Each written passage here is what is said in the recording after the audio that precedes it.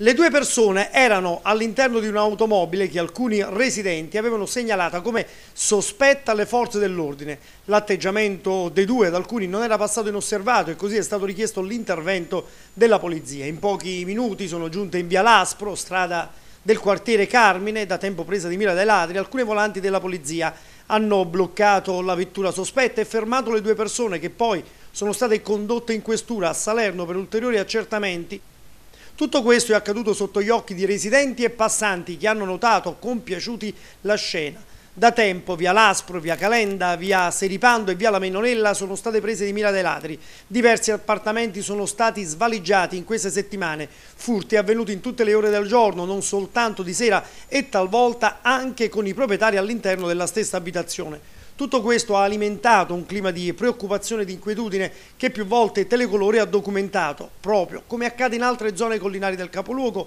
e nei comuni della provincia di Salerno. Proprio ieri, tra l'altro, l'incontro tra questore di Salerno e il comandante della Polizia Municipale per predisporre un potenziamento dei servizi di controllo sul territorio. Da tempo i servizi di controllo sono stati potenziati in tutte le aree del capoluogo.